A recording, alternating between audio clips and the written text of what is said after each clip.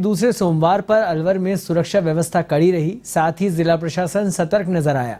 बता दें कि सावन महीने में इन दिनों कावड़ लाने का दौर जारी है।